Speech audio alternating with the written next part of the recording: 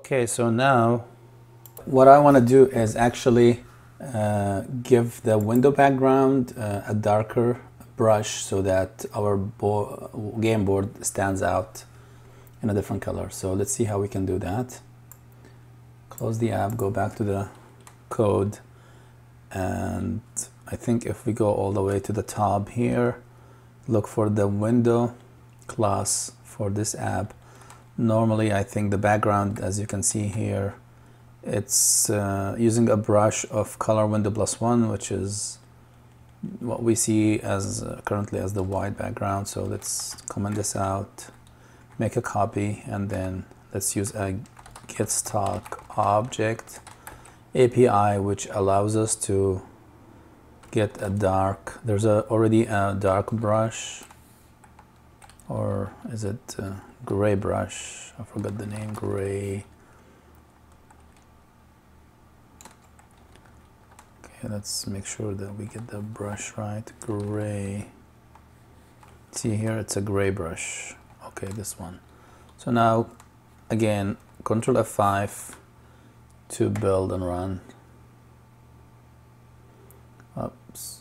It's oops already there's a typo here I forgot an additional square bracket. Actually, I don't need this. I can just take this out from here. Okay, so this should work fine. Compile and run. All right, so now as you can see, the window itself has a is using a darker gray brush background. I like this more.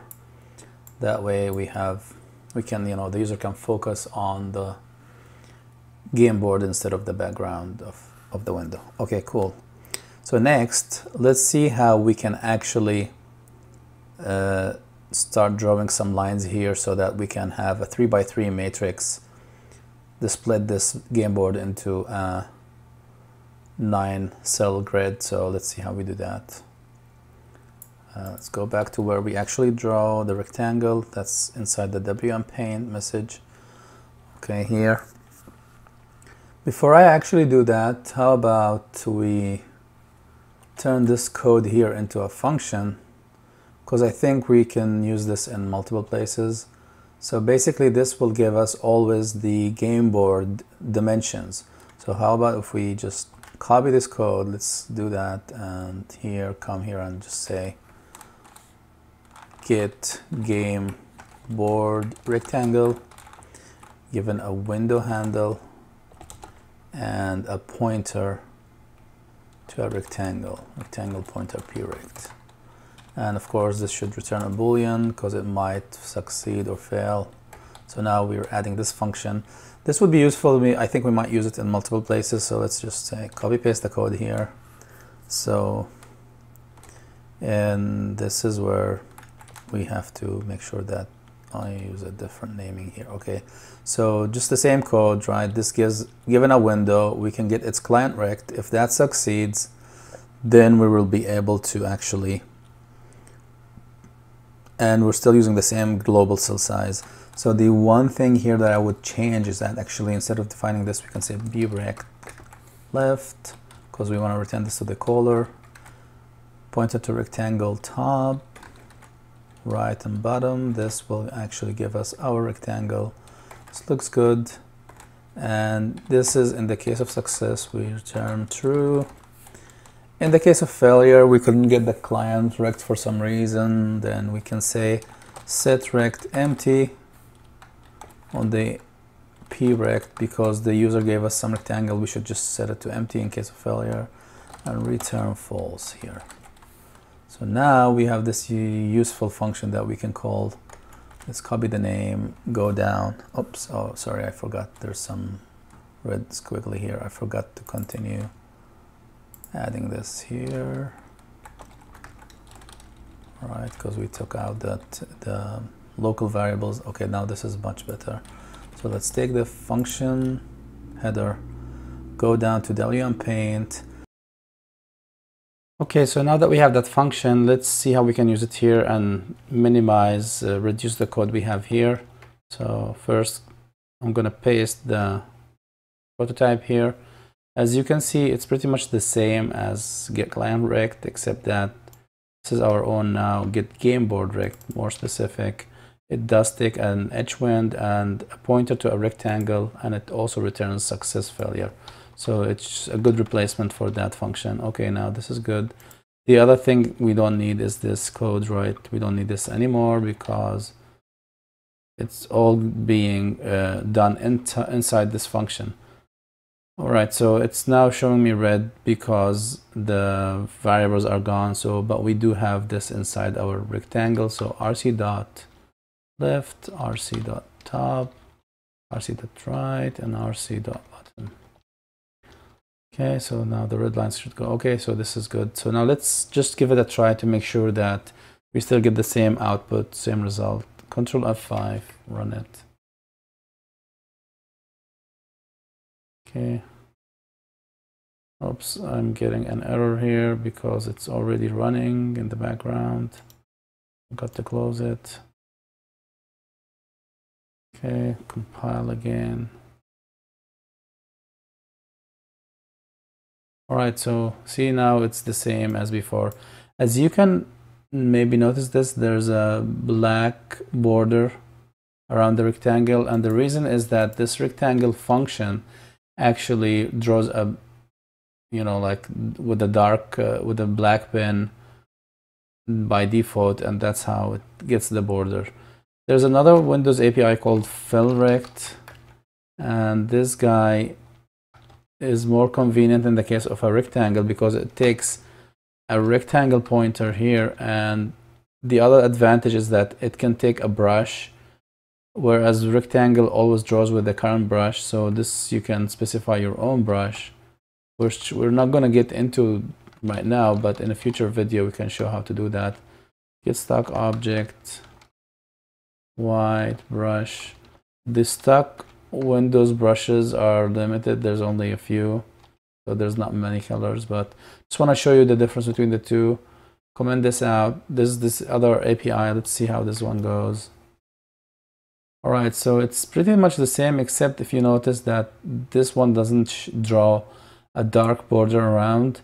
So in our case for now i think we should stick with rectangle for a minute until we draw the lines. Let's, okay, so now that we have a rectangle and we have a function, the next thing we want to see is how do we uh, draw the vertical and horizontal lines. Uh, believe it or not, Windows API does not have a line uh, API that takes like x1, y1, x2, y2 that's not there. There's actually two calls you have to make. The first one is called move to EX.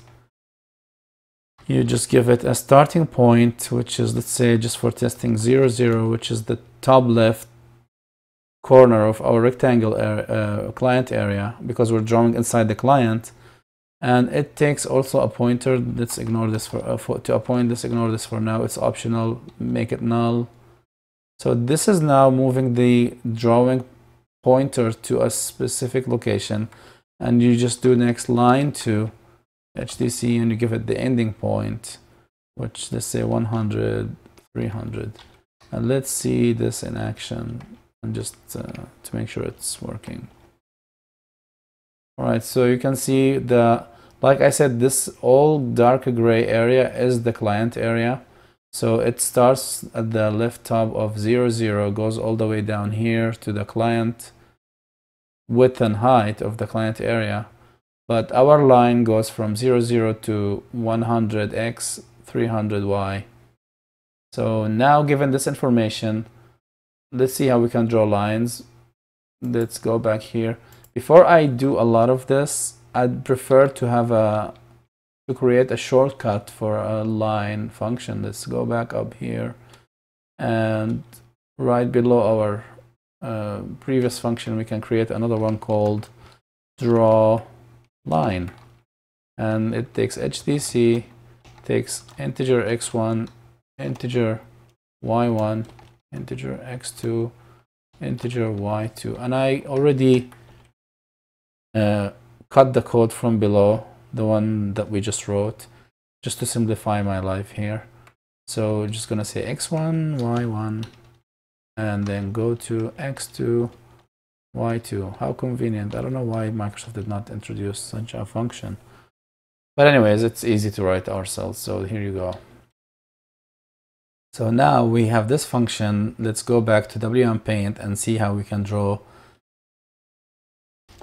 draw vertical lines and then we want to draw horizontal line, lines. So we're going to use draw line. We have the HDC and we have the RC right? So we have we know the board has a left and a top area. And then we want to go from the if we're drawing vertical line so how can I do this? How can I draw this? Let me see. Okay so this is a vertical oh sorry. Just imagine this is a vertical line. So this is the left top and this is the bottom still is the same left right? So the only variation here is that the bottom is changing and then we want to draw another vertical line here so the offset between the two is going to be the cell, si the cell size constant we have. Then we draw another one here and we draw maybe another one here, right? That's how we draw it because remember our game board actually is kind of like this. Something like this, right? We are going to draw one line, two, three, four and that's the vertical. On the horizontal we're gonna do the same. But let's let's stick to the vertical first or maybe yeah let's do that. So like I said the only difference is going to be rc dot left plus cell size then rc dot bottom. This is a vertical line. Something like this but however, I, we're not going to change this. I mean, we're not going to do this now. The lift is constant, but we want to have so somehow make this inside the loop instead of trying to copy it multiple times. So let's do just the horizontal line. A horizontal line is going to be something like this. Oh my God, I'm really bad with drawing. Sorry about that. Left top goes all the way to right top. So so basically left and right and and the top is constant in this case. So top is here, top is here. And then we have this to be right. And then we will add a variable here that can move the both. So given this, let's say for integer i equals 0, i is less than 4 plus plus i. We want to loop to draw four lines. Okay. How do we draw four lines? That's easy.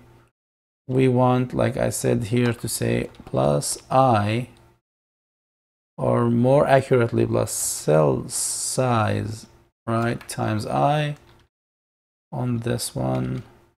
Plus same here because the left is constant in this case, the i will make it variable on the next iteration. If you multiply by zero the first time, then we start from the very edge, left edge of the rectangle, which is good. The next iteration becomes with one cell size, etc., etc. Same thing we do here. We said that the top is constant, but what makes it variable, what makes it move is the i. So cell size times i and this is the cell size times i. Okay, so now we have our lines completed. Let's give it a try. Control F5 again to compile and run. All right, so we have a really nice board now.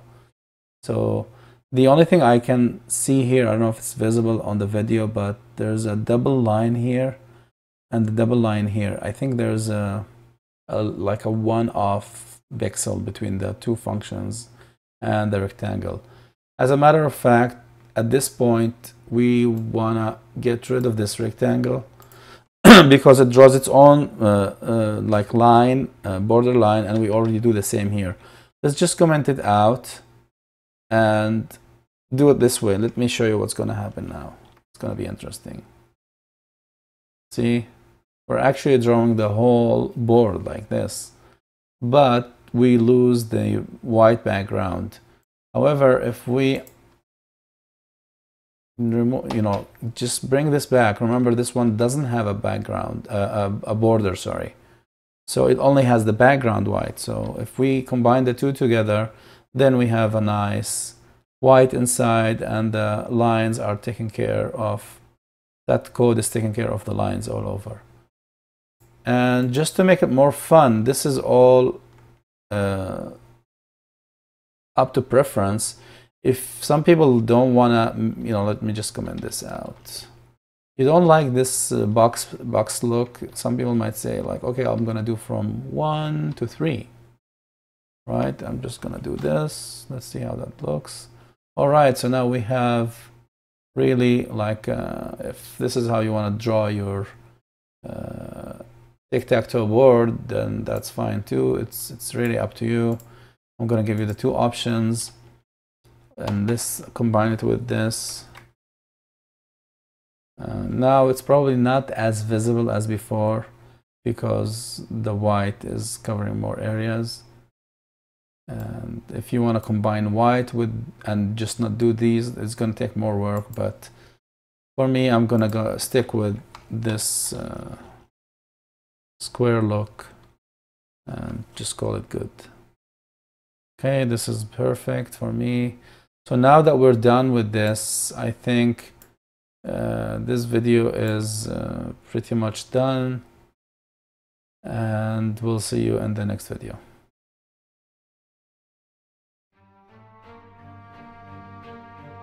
Thanks for watching. Please leave a comment or share with your friends. Don't forget to subscribe to my channel or like us on Facebook. See you in the next video.